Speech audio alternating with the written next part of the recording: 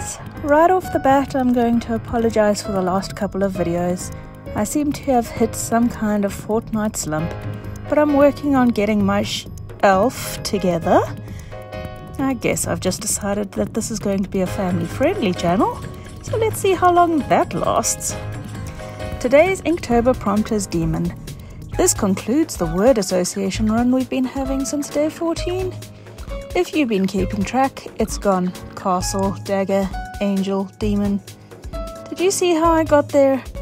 I'm sure Hamlet was the missing link in my brain between castle and dagger. Then it must have gone Hamlet equals ghost equals angel. Opposite of angel, demon. Can someone out there please confirm or deny if this is a rational thought pattern? Because at this stage, I'm way beyond fearing for my sanity. If there is a sanity line, I'm so far past the line, can't even see the line. The line is a dot to me. Getting back on track, today we're heading off to Greece with the Acropolis Tangle pattern by Joanna Quincey over at zenjo.uk. Linked in the description. The Acropolis pattern is another string based one which make very pretty borders or backgrounds. Start by drawing two sets of parallel lines. The tangle is going to sit inside the gap between them, so don't be too stingy. Now, float some half circles up to the top line, that being the bottom line of the top pair. Make sure that they are relatively evenly spaced, but don't get pedantic, just eyeball it.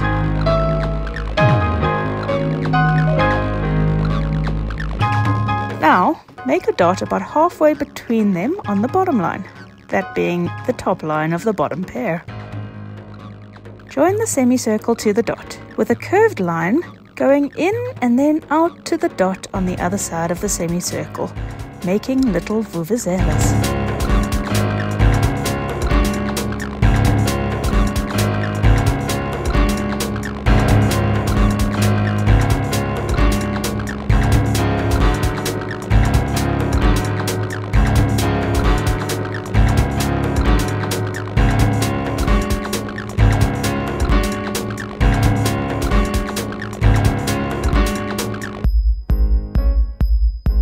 Let's put a mute in this pesky little horn.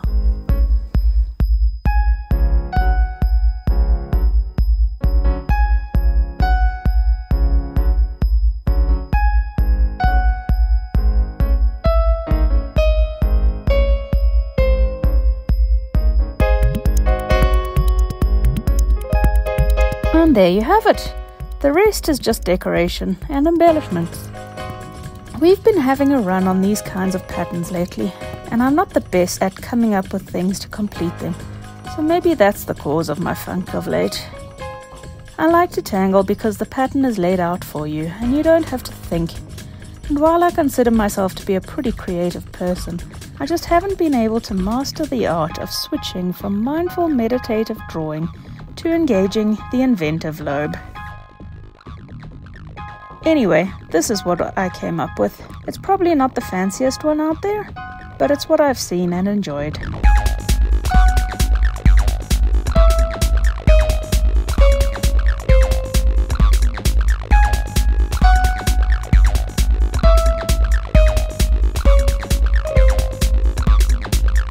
Joanna came up with the name Zenjo as a combination of Zen and her name.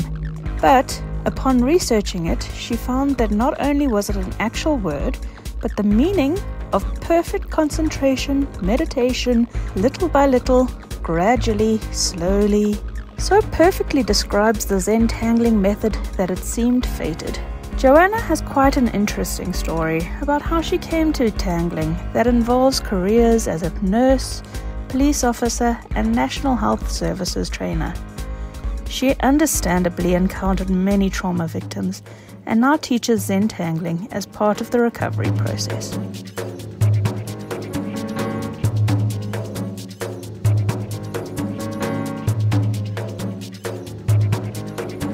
Today's comment challenge will be to tell me if you got my earlier Friends reference. We have another one of these stringy little fellows tomorrow, but it's gonna be a quirky one, and I absolutely love quirky.